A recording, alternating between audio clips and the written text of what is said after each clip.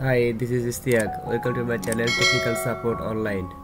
Today I show you how to remove remote desktop services CAL or RDS CAL from your Windows server. So in this server already remote desktop service is installed. Now I want to uninstall this service. So click remove. Click next, next and select here remote desktop service and click unmark. So unselect this and remove this feature. Click next. Next. And click the restart. When the service is uninstalled and it will be automatically restart the server. So i click remove. So it take 3 to 5 minutes to uninstall the remote desktop service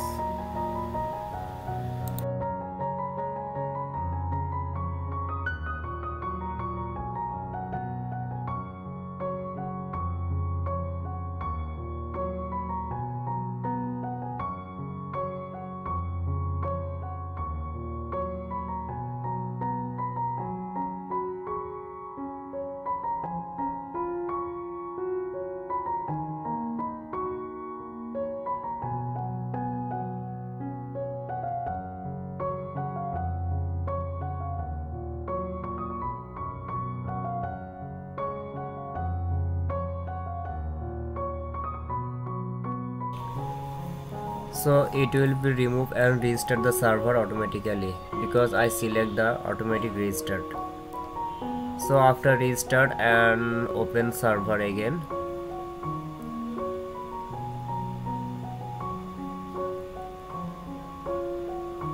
The remote desktop service showing uninstalled successful here. You can see the pop-up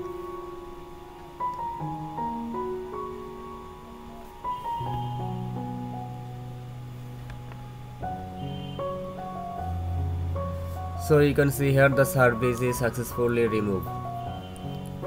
Now close this. And you can check tools and there is no remote service manager or option. You can also check add role next next. And you can see here the remote desktop service is available for tick mark for installation so the remote desktop service is fully uninstalled by this process. Now i'm going to c drive the folder of remote desktop service where database.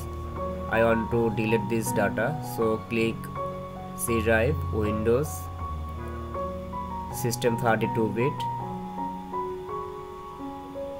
Now find here LServer so LServer folder contain the remote desktop service database. So so if you reinstall the remote desktop service role again the uh, previous database will be shown in your remote desktop service. So that's why i delete the folder of old database.